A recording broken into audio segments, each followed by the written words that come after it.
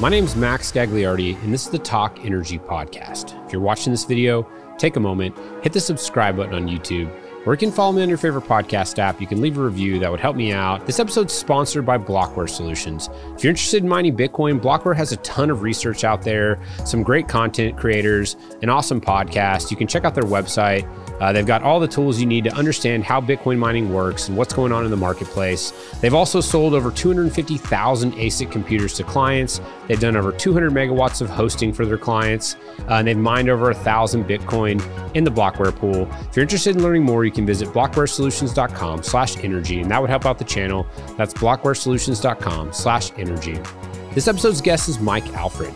Mike is on the board of Eaglebrook Advisors as well as Iris Energy. He's got multiple decades investing in the capital markets as well as experience as an entrepreneur who's founded multiple startups. Mike was also early in calling out the warning signs for the Celsius network and the Luna Terra collapse. He's been an active person on Twitter who's calling out people and telling them to be careful investing in these DeFi and crypto projects. This episode, we talk about the current state of the capital markets and how Mike is investing in this environment. We chat about his history as an entrepreneur and the different startups that he's founded. Then the discussion moves to Bitcoin mining in the public markets and Mike's take on the different opportunities and risks with the publicly traded Bitcoin miners. And lastly, we talk about the corruption in the DeFi and the crypto space and how when things seem too good to be true, they often are. Hope you enjoy the show. Mike, welcome to Talk Energy. Thanks for coming on. Yeah, thanks, Max. Uh, it's good to do this on a holiday. Yeah, thanks for making it on Memorial Day. We've got uh, important things at the poolside to get to here in a minute, so we'll uh, we'll get through it. But you know, this is an energy podcast. I do a ton of Bitcoin content. It's energy backed money. Uh, you're someone I follow on Twitter. I don't know your story, your full story. I thought you'd be a great guest and got some topics to dive into. But maybe just start out with your background and got a lot of listeners from the traditional energy space. Sure. Well, I mean, I grew up in uh, Southern California. Uh, you know, I was a pretty good student, athlete. Uh, grew up surfing, playing soccer, etc. Went to uh, Stanford undergrad. Uh, started trading stocks uh, right before I went to Stanford, and, and well through most of my time there. So I was a history major, but you know, you wouldn't have known it because I was reading about stocks like the whole time I was there, and kind of lived through the the dot com bubble. Uh, invested all the way through that. And, you know, I've still been going today. It's been 23 years or so since I've been investing my own money. Um, and so learned a lot through that process, but separately from that, started a couple of different software companies. Uh, one of them was called Brightscope. Uh, that was a 401k rating uh, platform. We gathered data from the government and sold it to large asset managers. Uh, built that company up to about 70 employees, sold that in 2016. Uh, got into crypto data in, in 2017, 2018. And so tried to build a Bloomberg for crypto. Didn't get as far as I would have liked, but managed to sell it to NYDIG in uh, 2020. Uh, briefly ran strategy and M&A at NYDIG. In, in that uh, role, I talked to maybe 50 industrial scale miners, uh, Bitcoin miners, and learned quite a bit about that space, particularly how those companies get funded uh, over time. And, and so when I left NYDIG in, in uh, June of last year to focus entirely on my own investing, I ended up joining the board of Iris Energy, which is one of the larger industrial scale miner. And actually, they went public in October of uh, October November of, of last year, and so I've been enjoying working with those guys. Um, separately from that, I'm an investor in about 50 other companies. That's awesome. I want to get into the Bitcoin and capital side here in a minute, but just taking a step back to the investing in equities and uh, just kind of these, the market right now, it just seems like a weird, weird time. You've been through different market cycles. I've seen you tweeting lately about uh, different stock strategies, equity strategies. You've mentioned some, some things about energy stocks. Just kind of your, we'll start high level, just your takes on where we're at uh, in this market in equities. And then I think that'll segue nice into the Bitcoin and the capital side for mining.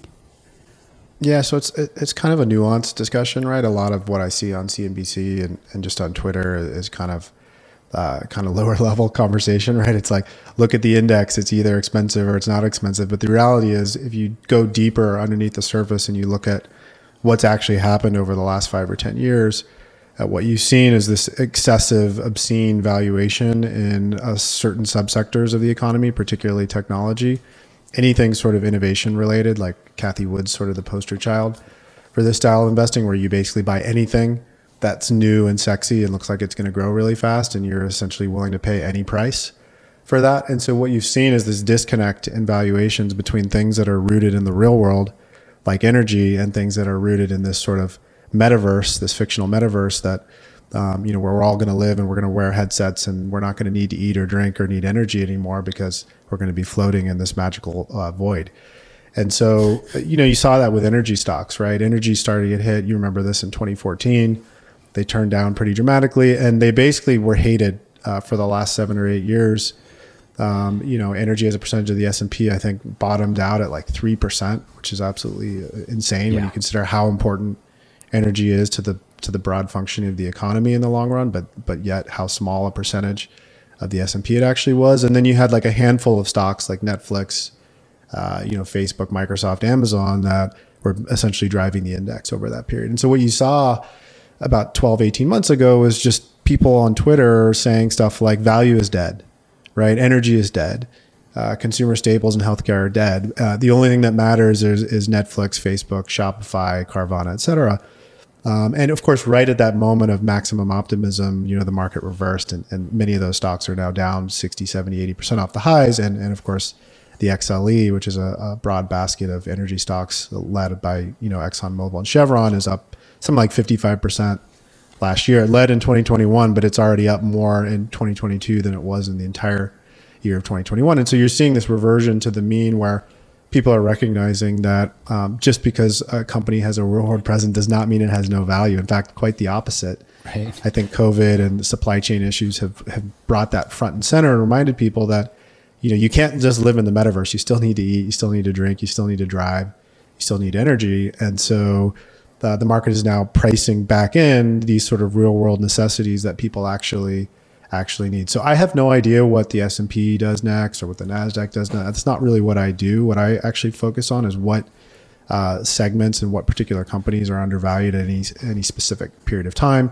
So if you followed me closely on Twitter at the end of 2020, I was lambasting pretty much the entire uh, portfolio of Cathie Wood and saying, look, you should not be buying these stocks at 100 or 150 times uh, sales. You should not be buying Netflix and Shopify and Carvana at those levels. You should be buying CVS, Bristol Myers Squibb, uh, energy stocks like Enterprise Partners, et cetera.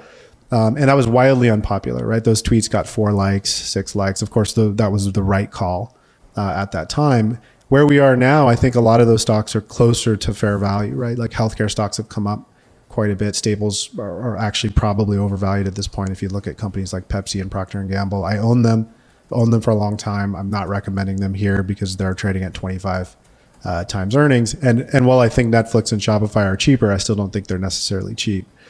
Uh, so wh- where are we sort of broadly on the macro? I think we could see you know another 15 20 percent uh, worst case sort of on the downside in equity markets, but I think long run, you want to own equities and you probably want to own them at, at these prices because if you're looking out three, five, seven years, as long as you're not uh, piling into the most overvalued segments of the economy, you're going to do just fine.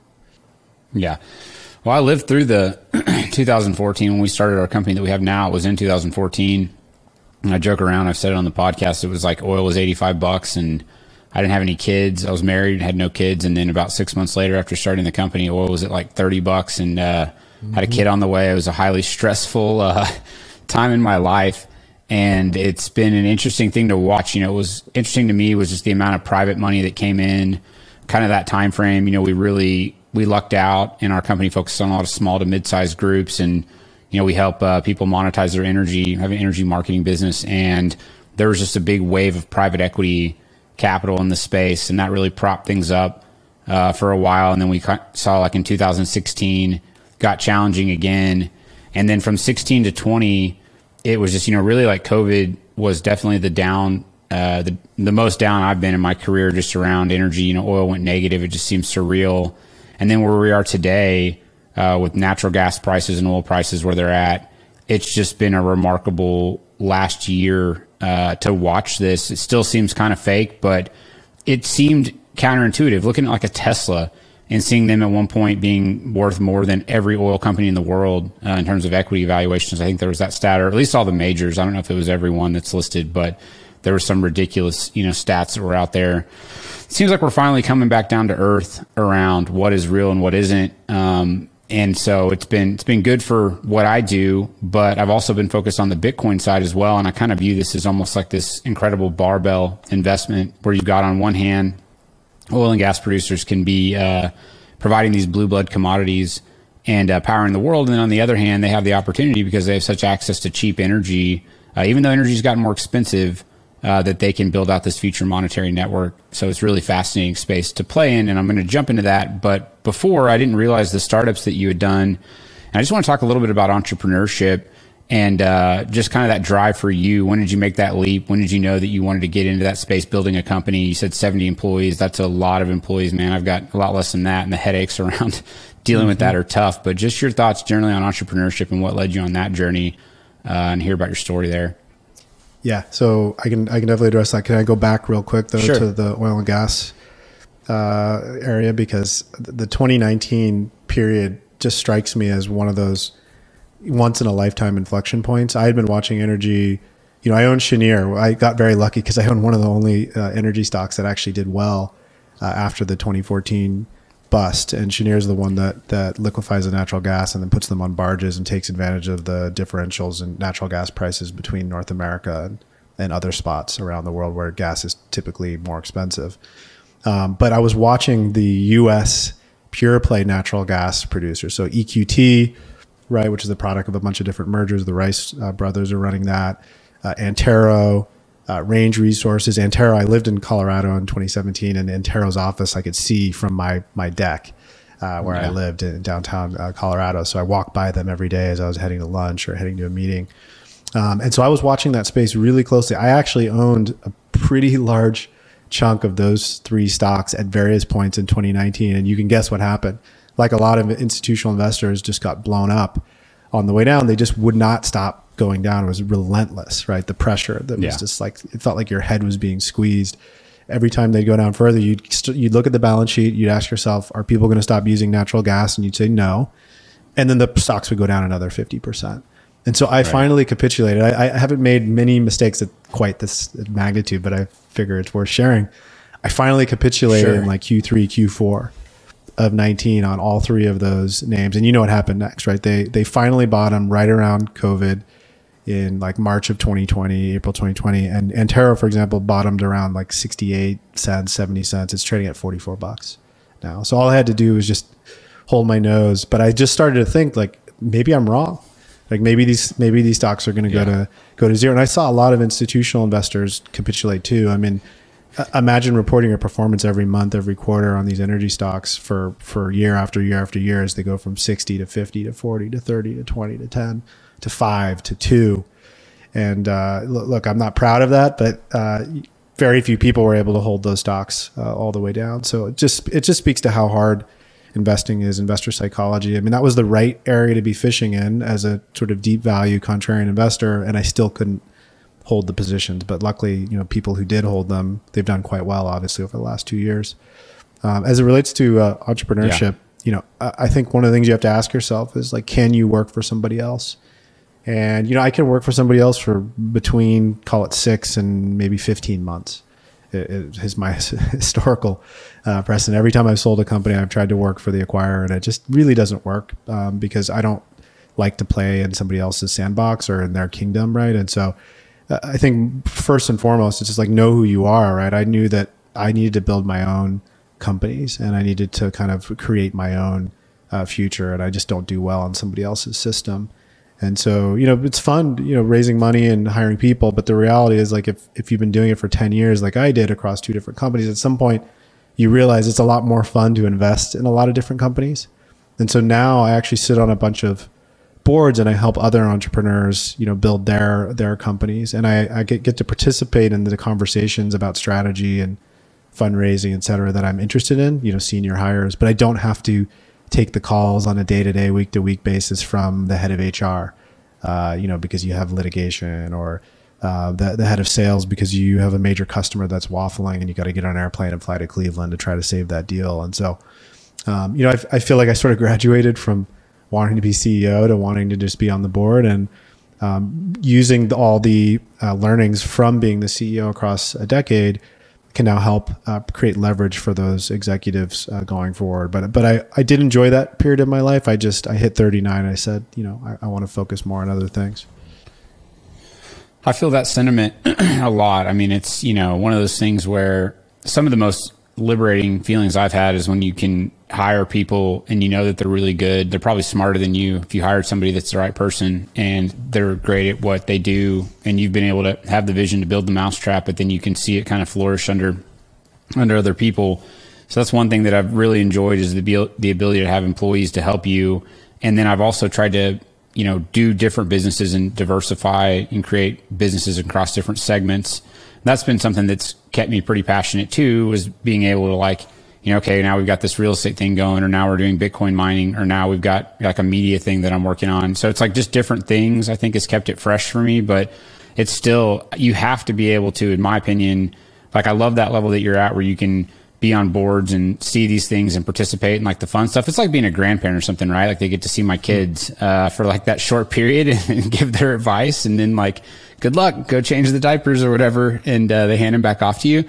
Uh, but it's been for me getting to a little bit of higher level, letting things go. And just trusting in the people that you have in the organizations, and then having really good partners is another thing. It's like I've never been enamored with being the CEO. In fact, it's a relief to me to have kind of peers or partners in ventures because you, everything's on your shoulders and you have somebody that you can rely on and leverage. Um, so that's been a journey for me. It's just, it's stressful. The startup thing is a lot of stress. Um, so I don't know. I've always just, I have a fascination with people that have done it and that have built businesses because I know how hard it is. And not just, even if you have a good idea and a good business, it's still stressful and it's difficult. Uh, so props to being able to, uh, to get through that. And you talked about capital raising and you said that, you know, you know, having an idea, then raising the capital. One thing I want to focus on as we pivot from oil and gas, uh, because we've talked about some of the history there, the recent history on the equity side, but Bitcoin mining specifically, we started getting in this space about 18 months ago. My background is we, we primarily the main company that we have is we buy and sell natural gas. Started having Bitcoin miners approach us asking about stranded or disadvantaged gas and brokered a few deals. And then ultimately that led into us uh, starting a company where we're now I have some of our own mines. We're also doing consulting and advisory and then kind of turnkey solutions for it. And the biggest issue that I've seen in this space is that uh, for me, it's just the there's just the lack of availability of capital. You've kind of got uh, this really high cost of debt that I just you know we're seeing now that the problems that that can cause people that are in that situation, and then you've got uh, kind of public companies and those valuations were sky high. Now they've come down, but uh, I'll lead you with at least that much, and then get your thoughts in general around capital in the Bitcoin mining space.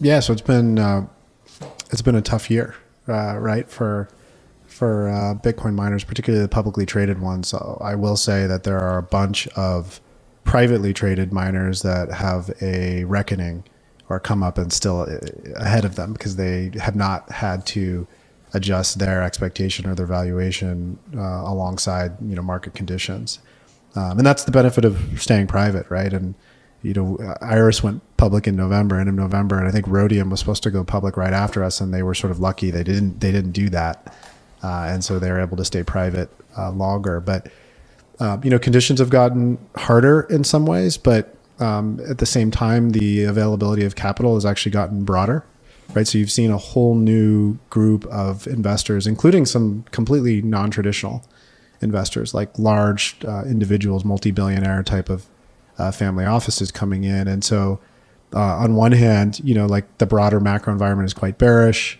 Anything innovation related, anything without profits right now has gotten absolutely clobbered. On the other hand, the interest level from different capital sources uh, in this space have gone up qu- quite dramatically. And I'm sure you saw the news about ConocoPhillips, uh, you know, doing some Bitcoin mining. I, I expect that to be uh, the the rule going forward. I expect all large integrated energy producers to get into Bitcoin mining. It actually makes no sense not to do it, at least somewhere in your operation, especially if you're ge- geographically dispersed and you have a lot of different energy sources uh, you just run the numbers and you say, man, it makes sense to actually uh, mine Bitcoin uh, in this area, right? Or with this power source. And so I, I expect a lot more large uh, energy producers to be coming in to mining. And, you know, one of the thoughts I had was like, shouldn't a Chevron or ExxonMobil be going ahead and buying somebody like a Marathon, uh, you know, which is an asset light uh, business? You know, Marathon has done really well in capital markets. They always seem to be raising money at the right prices. They seem to be able to access uh, capital markets in, in, in, large size, where they haven't been quite as good as in running their operations. Right, they've had a lot of issues in their Hardin, Montana uh, facility. They've had a lot of issues actually keeping their machines plugged in. And so you can see this beautiful marriage where somebody who already has a large geographically distributed uh, organization but does not have a Bitcoin mining footprint could pick up all the IP, right, all of the machines, uh, all of the know-how, uh, and go ahead and, and kind of build their uh, mining business, their Bitcoin mining business on that footprint. So I think that's going to be a really common uh, thing you hear about over the next few years. On the on the debt side, I mean, there's like a cornucopia of debt options all of a sudden available. You see a lot of machine financings right happening. Those uh, transactions are getting cheaper and cheaper. They used to be 18, 20, 22, 25 percent type coupons. Now you're seeing you know low teens, uh, and and not all cases with warrant coverage.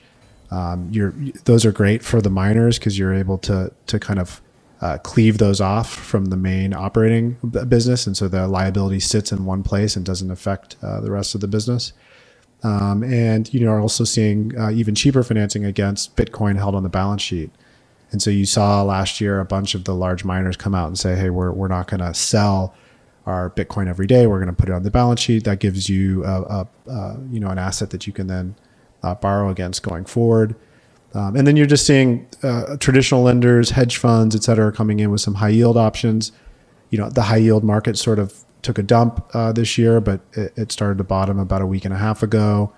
Um, looks to be firming up, and so I expect a lot more debt options to be available as this year goes on. So I, I think actually now is potentially a, a very significant time. Uh, you know, when we look back two, three, four, five years from now, and you look at the stock charts of Marathon Hut, Core Scientific, Iris, Riot, et cetera, um, Argo, and, and, you look back at the prices they're trading at now, I'm pretty sure in two, three, four, five years, um, we're going to say, man, can you believe you could have bought those stocks at those prices, right? Because the sentiment is so negative. But actually, the fundamentals of Bitcoin mining have, have never been better in, in some ways. And so uh, I'm quite bullish on, on the space. Um, and I'm bullish on the equity of the largest uh, miners. And I'm just bullish on the, on the space broadly. I like that. I like those comments. I mean, I think that for me, the biggest difference, maybe it's because I'm comparing it to like traditional oil and gas infrastructure. And so in 2018, we went out and raised like a $200 million equity commitment to go build uh, traditional midstream assets. So pipelines, processing facilities, things like that. At the time, you saw this big wave kind of from 14 up until around uh, 18, 19. It really started to slow down to a trickle. And then in 2020, obviously, there was hardly any private equity money uh, getting funded into oil and gas deals. And you know, you had guys that understood the space, so were fairly sophisticated around it. They understood the life cycle where we're at, and there was just this larger pool of capital available. And you, and as a management team, you could get very favorable, you know, terms. You could get in, and maybe you only have to post a couple percentage points of the total equity uh, from the management commitment. You could get like a really nice waterfall uh, if you were to hit certain hurdles, and then you got you know coverage for general and administrative expenses so you could get salaries and things like that while you built the business. And so it really facilitated a ton of infrastructure growth uh, in oil and gas. And you saw a ton of midstream get built out from kind of 2010 to 2020. You saw a lot of downstream projects. I mean, you really saw kind of the shale revolution take hold and end of the 2000s and then through the last decade, uh, just this influx of infrastructure investment. And, you know, right now in Bitcoin, I just don't feel like there's that you know, there's not like five different private equity groups that have raised $2 billion each to focus on like mining, right? To where you can just go interview with those guys and they can pick out the most sophisticated teams. It does seem like it's more debt focused, uh, which we've been reluctant to do. We also have been reluctant to do pri- or public company, uh, anything where it's like, hey, you know, there's a lot of guys pitching things like, let's get a SPAC together. Let's go, you know, uh, get something where we can take it public. So we've stayed away from that. And our philosophy has been stay equity funded if you can. Um, try to get the cheapest, lowest cost energy, and then try to get multiple revenue streams to where you can offset. Like if you could buy reserves, and you have some oil you can sell or some gas, and you can offset your opex for the mining for that. Uh, to just try to get down to this really low mining cost. But do you think that this will change in the next few years where there'll be more kind of private equity where you can just go and if it's a good team with a track record who's executed, they can get meaningful capital because I just don't feel, and maybe it's because I'm talking to the people in the oil and gas space, but all those guys seem really fascinated. Like we know all the big private equity groups, but none of them, they just want to learn right now. It doesn't seem like any of them are really making the plunge, but just you, could you see private equity getting more sophisticated around this and becoming a large pool of capital to draw from uh, for guys wanting to do startups? Yeah. I mean, look, there, there are already call it more crypto native or Bitcoin native uh, teams that are working on uh, investing in, in miners, right? There aren't that many of them like the biggest deal I saw last year was a was like a fifty million dollar. Actually, it was one hundred fifty million total uh, in equity first, and then the second later round they did three to five hundred million, and then they did another billion on top of that. Right. So this is not a, a transaction that's been widely covered or, or talked about, but I uh, did the first tranche of it, so I got to meet that team and learn about what they were doing, and the investors in that are quite sophisticated um, but none of them, none of the three biggest ones that I can think of, had ever done a Bitcoin mining transaction before. So it came together around the unique attributes of that deal, the size and scale of it. And so, yeah, there, there probably needs to be more like specialized capital focused on the space. Um, but that's going to happen organically. Like if you think back to like 2000, 2001, 2002, as people were really starting to understand the internet, there were very few people who understood like what Equinix uh, was doing. The same thing with like if you think about the cell phone REITs like uh, like American Tower and Crown Castle, right? The, you look back in time, those American Tower traded at two bucks back in 2001 or whatever it was, right? Um, Equinix traded at like three bucks coming out of the the dot com you know bubble and blow up. And those stocks are up hundreds of times um, since then. And of course, there's way more capital interested in doing those business models now because everybody understands the fundamental economics of data centers. Everybody understands the fundamental economics of cell phone towers. And I believe in five or seven years from now, everyone will understand, uh, maybe 10 years. It, we'll see how long it takes. It depends on how long, if there's a recession, it depends on, right, uh, how much the Fed pulls back on on uh, liquidity. It depends on a lot of different things. But at the end of the day, at some point between five and 10 years from now, people will understand the the fundamentals of the Bitcoin mining business in the same way that they understand those other business models. And at that time, magically, uh, there'll be plenty of institutional capital, including private equity and including additional debt, lower cost debt, debt options. So some of it's just time. And you know, there are very few people uh, on the planet right now who fully understand how Bitcoin mining makes the grid more resilient. Right. So like a good example of that, like with Iris Energy, for example, um, you know, up in British Columbia, British Columbia is a, a, highly regulated market where all the utilities have to earn a regulated return. And so when large scale industry like the paper and pulp industries pull out of those markets, it actually raises the price of energy for everybody else, including moms and pops uh, in that market. And so Bitcoin miners coming in there soaks up any excess power that was left behind when those large scale industries pull out it actually keeps the price of, of energy low for all the other users. So that's one model, right? Another model is in like the panhandle of Texas, where as you know, there's 20 gigawatts of, of excess wind and solar and other renewables. Um, and there's no transmission lines to take that power down to the load centers. Um, you have a you have a deregulated market, and so there is no sort of regulated entity that requires a return. But what you do have is excess power that mostly trades at a really low price.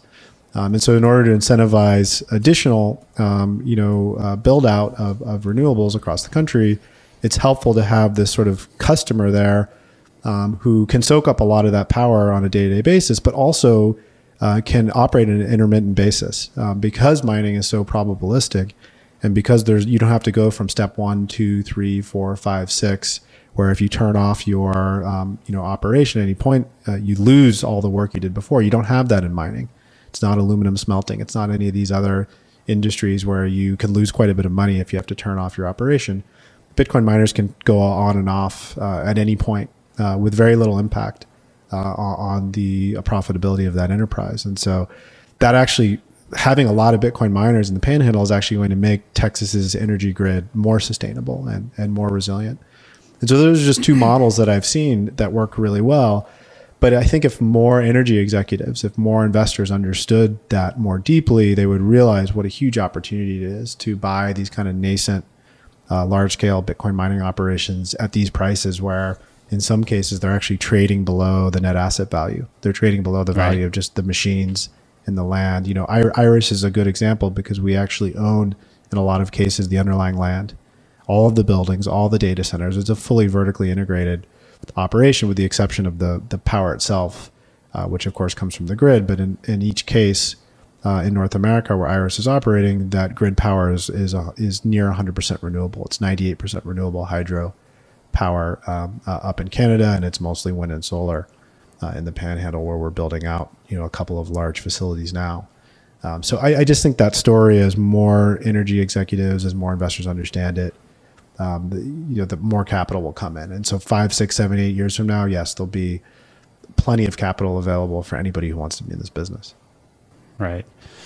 Love that. Um, thoughts around just kind of as this gets built out, as the you know Bitcoin the Bitcoin network gets built, you've got uh, all these different guys bringing on hash rate.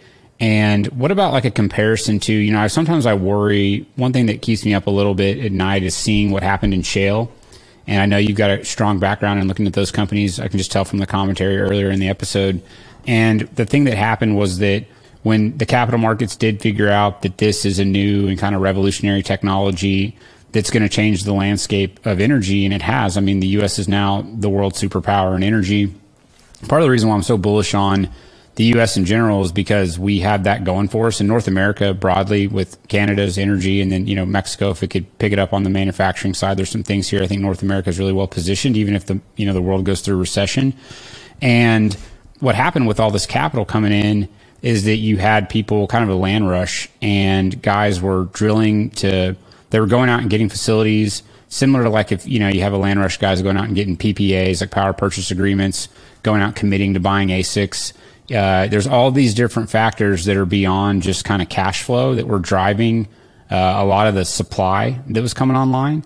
And so what freaks me out a little bit in the Bitcoin space is if the capital does rush in and gets sophisticated could it uh, have something like what, what happened with shale and natural gas, where you go through a prolonged period of just really, really a lot of pain just because guys were producing because they had to service debt, guys were producing because uh, they had to keep the lights on, even though you know they were butting up against their marginal cost of production. I mean, these north uh, northeastern Appalachian shale producers, you know, producing at two dollars or two fifty natural gas when differentials and fees I mean, they were basically making no money and they were depleting those reserves. And could you see that in like the Bitcoin space where a bunch of capital rushes in? You've got hash rate increasing, kind of agnostic to price, and that pushes it to just an extremely skinny or like a prolonged period of not necessarily Bitcoin price, but hash price. Uh, and, and or am I being too bull, uh, too bearish on? Bitcoin's price. Well, no. So, so there's so many years. different ways you could answer this if you want to answer it fully. But but let me start at a high level and just say that boom and bust cycles are an inevitable part of any capitalist system, right? So boom and bust in energy, boom and bust in tech spending cycles, boom and bust in Bitcoin mining. That's inevitable. But I think where you want to focus for Bitcoin is how Bitcoin is different, right? And so Bitcoin is this global asset right? Uh, Bitcoin is a scarce asset that's heading towards, uh, you know, absolute scarcity, unlike any other uh, commodity we've ever we've ever seen, right? And so uh, it also adjusts every two weeks based on the difficulty. So it has this this built-in mechanism to to kind of self-correct. And so, yes, there will be periods of, of a boom, in which case you would want to be more careful as, a, particularly as an equity investor, uh, right? But we're so far away from that. What we have right now is actually the we're at the other side. We're the bust part of the of of, of the process where there there isn't enough capital for all of the profitability that could be extracted in Bitcoin mining right now. Right. So even at a thirty thousand dollar Bitcoin price, most of the large scale industrial scale miners, even all in, are are wildly profitable at that level. And they can't even get enough capital to build out all of the operations that they'd like to build out. Uh, and so the thing, the, the, the thing that um, we focused on is just this disconnect between this digital store value, this this uh, this innovative S curve type of network, what Bitcoin is, where the price can come fundamentally untethered from the energy cost. It just can. We, we've seen that historically. The price can go up 100, 200, 300% in a year but the ability of the Bitcoin mining uh, industry to keep up with the growth in that network is, is, limited because it's tethered to the real world. It's tethered to can you get enough power from the grid or off grid, right? And, and off grid mining is really cool, but it doesn't scale. as easily as, as on grid mining. So like Crusoe Energy, like clapping for them. They've done a great job in what they're doing, but it's but it's a much harder business than just buying machines and plugging them in to a data center that's uh, uh, you know connected to the grid. And so, you know, you got to acquire power. You got to build. You got to build data centers, right? You've got to uh, acquire these chips, uh, most of which historically have been made in China. I am bullish on Intel and others coming into the space. I think it'd be really good to have a more diversified supply chain uh, for these specialized ASICs. But as of today, there's like three or four providers that that make quality chips in the world, and at various times in a bull market, there's this fundamental supply constraint of even if you have two billion dollars, you can't actually buy enough chips, or find any data center capacity, or even find energy at the same time to meet that meet that demand. So what I think is more likely to happen is that the Bitcoin price routinely is going to run well out in front of what any real world energy infrastructure company could possibly address. Um, because if the price is 100, 200, 300,000 per Bitcoin, you need to spend tens of billions of dollars on energy uh, capex related capex, right? So like transformers and buildings and land and uh, ASICs and you know there's all these pieces of the supply chain in order to mine Bitcoin at scale, and, and the process of doing that is much slower than than Bitcoin go up. Bitcoin can go up much faster than anybody can address that market. So I think we're much more likely to be in a in a situation of fundamental undersupply uh, of of Bitcoin mining hash rate relative to the demand um, over the next ten years than we are to be at a position where there's way too much capital or way too many chips chasing, uh, you know, Bitcoin at, at a price that falls uh, too far. Um, so I just think it's asymmetric, and I think uh, the amount of real world capex that needs to go into mining is going to lag uh, the price of Bitcoin over the next five or seven years. And yes, there will be a there will be some sort of tippy top boom period where just like shale, too much money is chasing too much return, too few um, profits right at the end of a cycle. But I think that is a long way out, and I don't see any signs of that right now.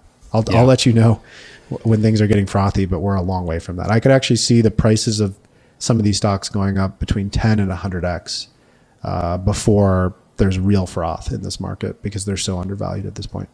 I love that. Yeah, it's a good answer. Yeah, the, the chips is a big uh, point where it's like you, you, can only you can only do so much, right? Like you can only create so many of them. We can only get so many ASICs. Talking shifting more towards like what characteristics of a good mining investment. Uh, looking at a company, and again, I'll tie back to oil and gas because when you're a hammer, everything looks like a nail. But for me, one thing I really the more I've studied Bitcoin mining, and it's just a fascinating industry because it reminds me so much of commodity extraction business. I mean, the, the parallels are just uncanny uh, to drilling an oil well. It's like you bring it online, it's a bunch of capex, uh, it starts declining right when you get it on. In theory, I know hash price sometimes doesn't decline, but you know if things are people are adding more hash, then it's like the first day you start the mine. In theory, is going to be the day that you produce the most of that commodity. Uh, then it declines out. But there's also some really interesting things that are uh, that are dissimilar. And it's the main one is there's two things. It's one, it's this geographic agnostic element to it, which it ties back to what you said earlier around how powerful it can be on the grid and how powerful it can do all these different things in the energy world. Like this idea that we can move this high demand anywhere we want is amazing. Uh, and if you start to think through the ramifications of that, it's just it it blow your mind, especially for somebody that's spent my career trying to figure out how to build infrastructure to get energy to market. Uh, that was the first thing that struck me. Um, and the second thing that is really amazing about Bitcoin mining that differentiates it from like other resource extraction to some extent is just the way that you can store the commodity and uh, have it forever. And there's no, you know, no shelf life and no cost to storing it. And so then you start to think, what's really, what are the most interesting types of mining setups? And to me, I, keep, I come back to oil and gas producers. They have a tremendous amount of energy the energy density in natural gas is just unbelievable. If you look at like a tiny natural gas well that, you know, is barely economic, maybe produces a couple hundred MCF a day and it's dry gas, has no oil, has no liquids or whatever. And you look at the amount of energy that that would be compared to like a solar farm. And you have to buy like a $20 million solar farm that covers multiple football fields to get a couple megawatts of power. So you've got all this energy and then they've got these other uh, revenue streams. And so like right now is actually a really exciting time in Bitcoin mining because the hardware is getting cheaper. Uh, there may be capitulation if it gets worse. And you've got guys that have all these robust other revenue streams to where if they're mining Bitcoin, that could just be like a side thing, right? Where they're just holding it. And, you know, it's like when oil went negative, you, you know, if you didn't have to sell then, think how amazing that would have been if you had if you were capitalized when things got really bad, and then by the way, you could hold the product forever until you wanted to sell it. Um, so there's just some characteristics that uh, that I think are really unique. But when you think about a good Bitcoin mining investment and what you know how to screen these companies, um, just any thoughts you had on what I just said, and then also that question uh, for the next one. Yeah, so I mean, operational execution and efficiency matters, right? And so I, rem- I remember I was on Preston Pysh's uh, podcast last end of summer, and I said, look, like if Marathon actually hits their target and has 130,000 S19 Pros plugged in by July of this year, then I'm pretty sure it'll be a decent investment. Um, but the re- the reality is they've had so many issues that they're way behind that forecast. And I said, look, you got to look at what the management teams say relative to what they actually are able to accomplish. And so I think there's a bunch of people in this space that are more like hedge funds, yeah. right? Where they're really good at like trading the machines and trading Bitcoin and and hitting the top of the capital markets, but they don't have any real operational secret sauce, right? They're they're not particularly they don't build their own right, so they're asset light, so they don't build their own data centers. They don't do anything with heat engineering. They don't do anything unique to, to optimize the yield. They don't do uh, you know liquid cooled immersion. They don't do uh, any specific sort of uh, maintenance program to, to keep the machines running longer. I mean, there are people that have S9s that are quite profitable and they're still plugged in. Um, and and so you know modeling how long you keep these machines running and how valuable they'll be over time somewhat depends on how good you are at, at your operating environment. And so I've stopped um, just looking uh, at uh, you know forecast and started actually paying closer attention to right away is anybody actually achieving what they said they're going to achieve and the people that are for the most part are people that control a, a big chunk of their own stack right so they're not people that are outsourcing a big chunk of their operation to someone else they're people that want to literally own the operation from the ground up they want to build their own data centers they want to plug in their own machines. They want to have their own engineers running things, right? They want to uh, control their grid connection.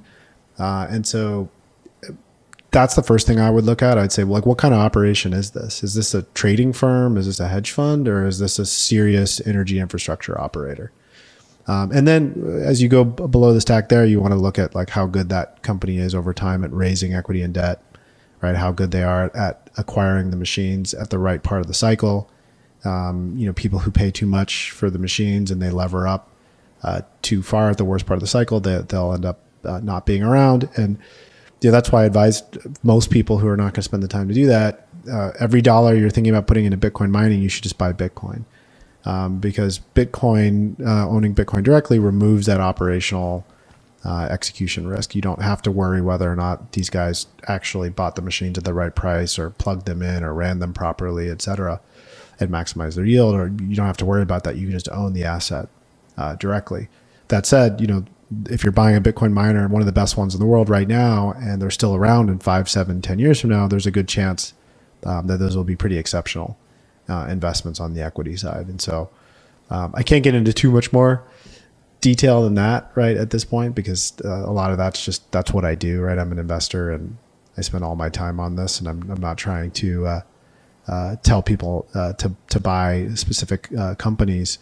Uh, but I would spend time getting to know the teams, getting to know the operation, understand what the secret sauce is of each one of these firms. Because while they look like they're all the same, there's actually significant differences between them, right? And so the, Wall Street right now is calling them all Bitcoin miners, but again, some of those firms are really more like trading firms, and some of them are more like energy infrastructure operations. Yeah, love that. I don't want to pick on the space a little bit I mean, I'm going to here a little bit. I don't want to give them too much crap because it is an emerging space, and uh, there's you know like any emerging space, you're going to have all types that are trying to get in, and you know kind of have these gold rush you know periods, right, where there's a bunch of people rushing in. But what I've seen and what shocked us in our group was like the level of sophistication uh, it, and differences among some of these groups out there, and you saw groups that were very well capitalized, big name groups, and I won't pick on individuals. And then you saw all the way through the uh, smaller guys, mid sized guys, and just seemed like a lot of guys were, you know, two years ago they were like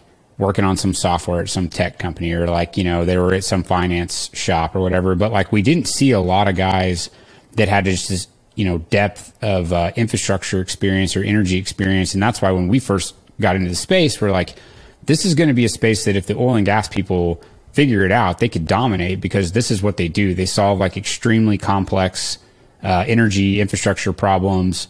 Uh, they build, you know, world class facilities that nobody else in the world does it like U.S. shale, and they have been solving these problems uh, for decades. And you've got all these engineers and all these technical people, and if they could just apply that brain power to Bitcoin mining, they can do amazing things. And we're starting to see it. There's some groups, you know, and like our group, we have a midstream background, and I'll brag on our COO. I mean, he's built over a billion dollars worth of infrastructure, and so it's like watching his mind and his gears start to turn, thinking about Bitcoin mining, or watching. Uh, we've got a guy that's a petroleum engineer on the team, and you know he does a lot of the design stuff. And so watching these guys that are these very technical guys start to apply that brain power to Bitcoin mining it's something that's awesome, and I think that the space will get more sophisticated. Um, the, the you know the more mature that it gets, but that was just something that struck me was that a lot of the teams just seem kind of experience light.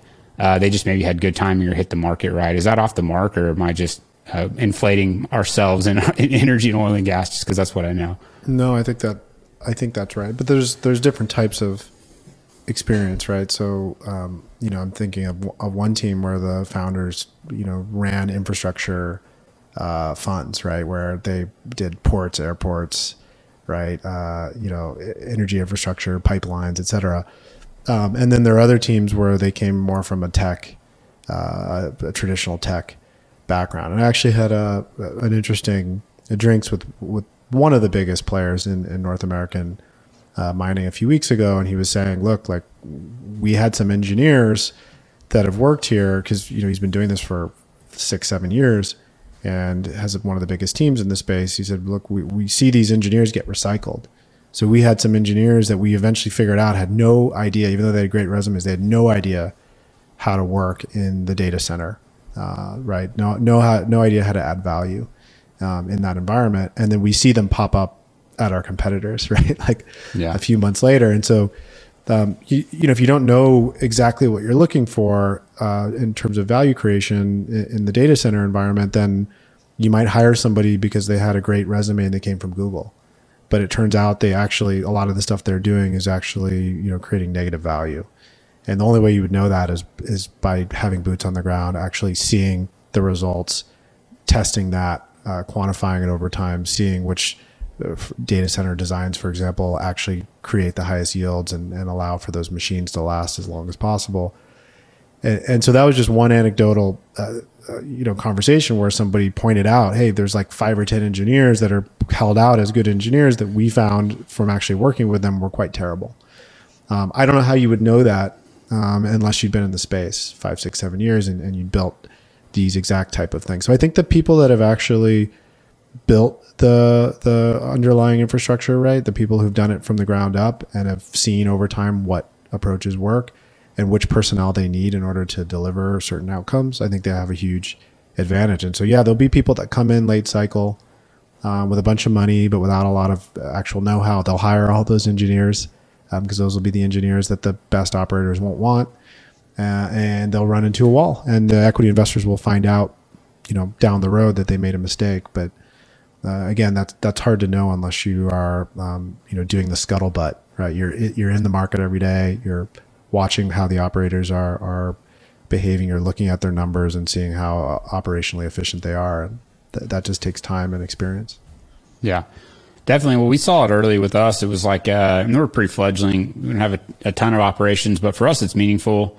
And it was buying the data centers from third parties versus uh, building it yourself and the first one we did was a third party and you know, the lead time was longer than we thought it was going to be. It's had issues since we got it. You know, if you think, start to think in terms of how much Bitcoin could I mine per day if I just had these machines plugged in, you know, and you start to learn, like, and you figure it out and it's trial by fire. And so we decided, look, we can cut the lead time, we can cut the cost, and we can learn a lot by just building these ourselves. Whether they be the best data centers, no, they're going to have issues. But we decided early on, like, we got to learn this because it's like, the more you can learn and the more you can control your destiny in the space, uh, the better off it seems. The less you can have to rely on third parties, whether that be through supply chain or through getting energy or whatever it may be. Uh, the better is what we've felt, and so I think that um, that will pay off. Last question on the market side, and then I want to shift here at the end to another topic. But just like the more adoption from institutionals, like if you like if a Bitcoin spot ETF gets approved, uh, does that like and the more access to like retirement plans that people get with Bitcoin, the more large scale institutions that come in and get people more direct access to it. Is that bullish or bearish for mining stocks? I mean, you think like maybe the Michael Saylors of the world wouldn't want these things because he's kind of a proxy right now. Like he's buying Bitcoin. You can't get a spot ETF, but you can buy MicroStrategy or you can't, you know, you've got these miners that hold a lot on their balance sheet.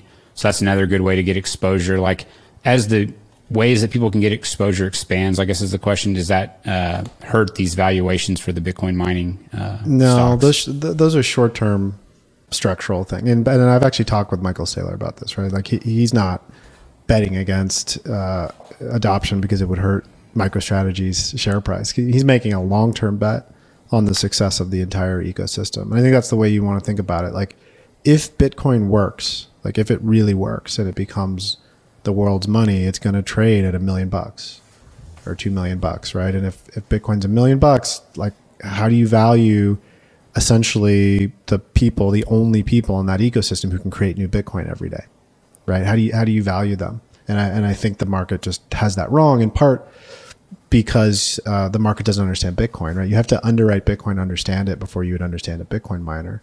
And then even once you do a little bit of work to understand Bitcoin, you look at this pool of 20 or 30 miners and it's hard to know which one's actually going to be around five or 10 years. Like, because Marathon and Hut and Iris and Core are not really the same company, even though they're all uh, labeled as Bitcoin miners. So th- these are all kind of short term structural constraints. There will be an ETF that's sort of inevitable. Like at some point, they'll shut the SEC down right? If they keep allowing, uh, you know, a, a futures based ETF with 15% type fees and they, they don't allow the GBTC product to, to transition over, right? Like Grayscale is just going to keep hammering at them and the customers, there's a, a, lot of customers that hold that product that would like to see it trade at NAV.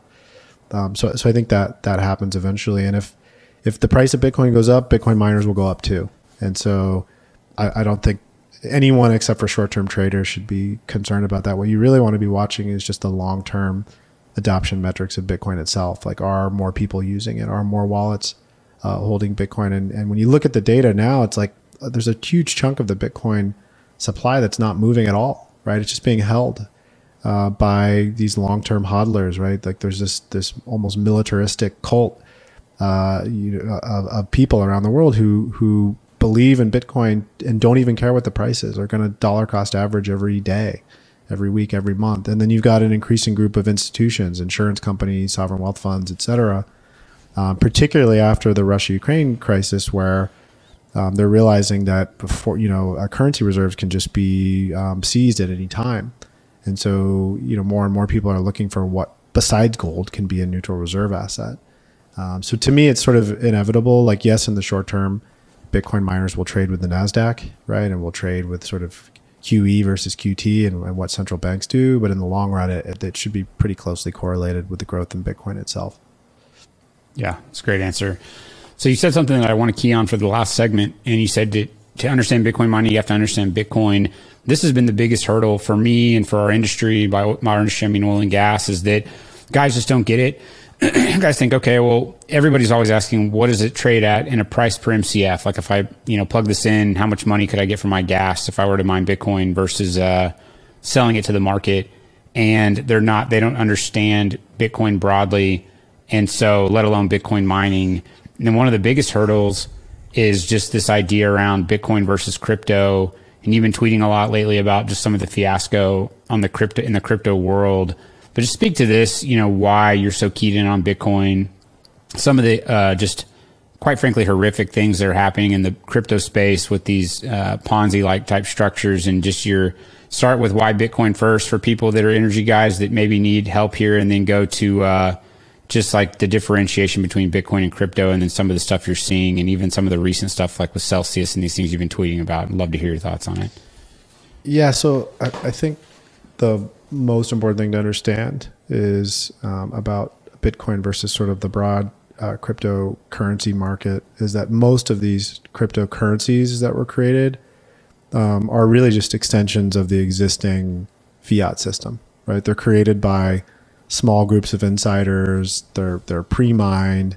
There's VCs that have their take of the pie right off the bat from the beginning.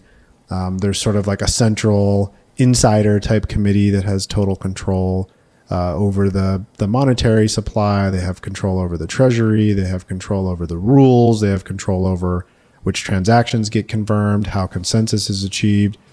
And so proof of stake is really, you know, just the way the world works today.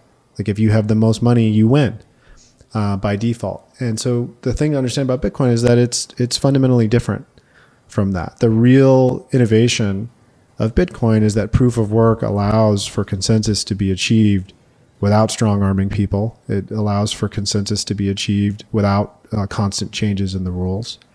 Um, and it allows you to store your wealth in an asset uh, where you can have a very high degree of certainty beyond any other asset on the planet that your one Bitcoin will still represent fundamentally one Bitcoin uh, in 5, 10, 15, 20 years from now um, because that monetary policy is dictated by by code. It's dictated by the rules of the protocol itself.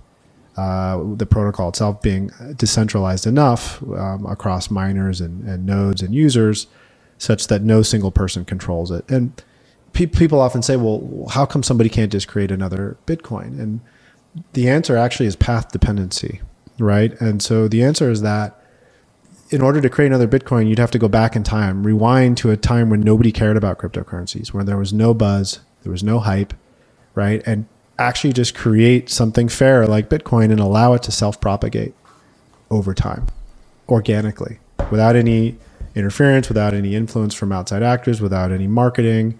Bitcoin came to being from scratch and had no market price for the first year because nobody cared, right? Except for a small group of people that uh, expended their own computing power on their laptop in order to to mine it.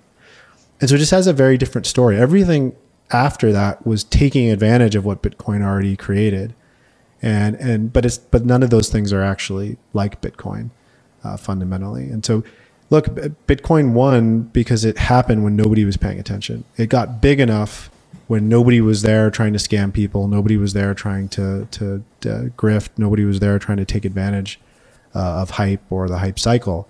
They simply created a fair uh, money based on a protocol and let it uh, grow in the in the natural market. And so that's hard for people to understand because they want to believe that you could just create a better Bitcoin that has a faster blockchain or does something that is lower energy use or whatever. But the reality is you need to use some energy um, because that's what creates that connection between the real world and this kind of digital world where, where Bitcoin lives in part. Um, and without that linkage, it, it's just another fiat currency that's created out of air that has no basis in reality. You know, Bitcoin has a basis with physics and factual reality because you have to actually have to leverage energy assets in order to keep Bitcoin running over time. And the hash rate has to go up. The amount of energy expended has to go up. Even if the chips get more efficient, there'll be some limit theoretically where the chips can't get any more efficient. Uh, but Bitcoin will continue to use more energy because if people are storing more value on that network, in order to keep that value secure, you need to expend uh, more energy over time to to protect it, and that's what what keeps Bitcoin real um, and keeps it anchored to reality in a way that Ethereum and these other protocols won't be. Um, so look, there's a lot of scams, there's a lot of noise. Um, Bitcoin is this wonderful innovation, maybe the only uh, meaningful innovation in this space uh, over time. Like DeFi is interesting because you don't have to go to the bank uh, to ask some centralized entity for a loan. Um, but it seems to be more likely that you're going to get uh, scammed or abused in DeFi, right, through some sort of exploit or hack, um, than than you would get your money stolen or or uh, hurt in the traditional system. And so, yeah, they're they're they're kind of whiz bang and sexy. Uh, you know, look, I got a loan and I'm uh, yield farming and earning 20% or whatever, but then you get wiped out. And so a lot of people who thought they were really smart were earning 20% on the anchor protocol and then the whole thing collapsed. And so, you know, if you're earning 20% yield, but you lose your entire principal, your, your net return is negative. Um, and I think a lot of, like, if you encapsulate all of DeFi uh, and you look at the returns that are actually generated, I think they're actually going to be negative for everybody except for the savvy people who managed to uh, buy some of these tokens really early on, like like Pantera, right, made something like 175 times their money. uh, on on uh, Terra Luna and extracted all of that profit and left anybody who stayed in that protocol with a huge loss after they after you know the thing collapsed. And so Bitcoin creates value in this beautiful flywheel across the ecosystem for everybody. Who, if you if you participate in Bitcoin and you stay for three to five years historically, uh, all you have to do is hold Bitcoin in cold storage and, and you accrue value. DeFi, on the other hand, has routinely wrecked large uh, percentages of the people who participate in it. Um, and so it's not, it, I just don't view it as the same thing. I view uh, Bitcoin as this sound, beautiful sound money, this pristine collateral, right, that has a tie to the real world through energy.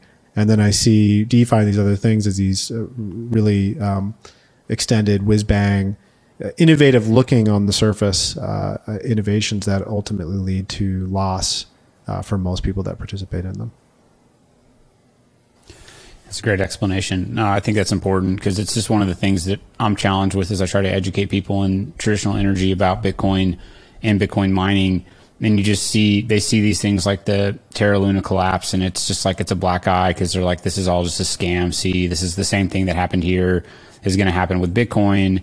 And then you're just trying to explain to them, this is a totally different thing it, it is more akin to traditional finance and trying to get around some of the rules. And, and I don't know, I'm not saying that no innovation will come from DeFi or crypto. I just think that I struggle to see the differences today versus just this traditional finance stuff. They're just skirting the rules and being more aggressive than you could be, and obviously, and then exposing people to more risk. And Bitcoin's tied back to energy, and it's tied back to this proof of work. I think you did a great job explaining it earlier around uh, just these different mining companies and the struggles that they face. Proof of work isn't just like the energy usage; it's everything involved. It's the planning, it's the thousands of man hours that go into putting these mines in. It's the operations, it's the continual maintenance, it's all this stuff. It's like, you know, if, if anybody that understands the law of compounded growth and how you know you put money in your 401k when you're in your 20s and then that money over time because of compound growth has so much power to grow you then understand when you think about proof of stake, you say, well, wait a second, like, aren't the guys that have the most money right now that just stake the coins? Like, isn't that, aren't they just, isn't it just going to snowball over time to where it'll be just those people that basically own it because of the rule of compounding growth? And if you bring that up to proof of stake people, they're just like, uh, and it's like, think about it. I mean, like, it's not the same. Proof of work and proof of stake are just totally different things. Um, but, uh, but yeah, I mean, that's, that's just a point that I think is important. And, I've covered all the stuff I have. If you have anything left uh, after that, if you want to add one final thing here, but uh, I'll respect your time on Memorial Day and let you go. But appreciate you doing this. Yeah, no, this is this has been great. I look forward to uh, seeing you at some Bitcoin mining uh, events through the rest of the rest of the year. I think you were at the Texas, uh, the one in Austin back in I think it was February. Yeah, yeah, that was. I think you were one. there. I didn't get to chat with you there, but I'll be at some of the other events later this year. I go to some of the uh, Bitcoin mining events on behalf of Iris Energy. I'm, I'm on the board. I'm an independent director, but because we have such a small presence in North America to date, because this is an Australian based uh, miner, sometimes they'll send me right as a, as a representative, which works for both of us because I get to go to a, a, cool conference and continue to meet, uh, you know meet, meet, up with people from the space and learn. Um, but they also get to have a representative in North America. They don't have to fly out from Australia. Yeah. So hopefully I'll see you at some more uh, mining conferences later this year. Absolutely. We'll do it. Thanks, Mike. I appreciate you taking time on Memorial Day. We'll talk soon. All right. Thanks, man. Bye bye.